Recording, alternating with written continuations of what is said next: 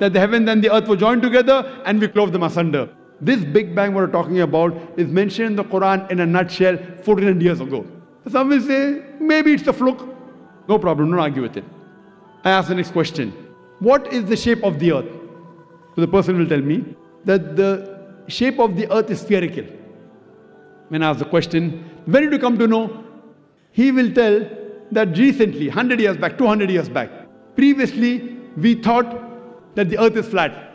It was in 1577 when Sir Francis Drake, he sailed around the earth and he proved that the earth was spherical.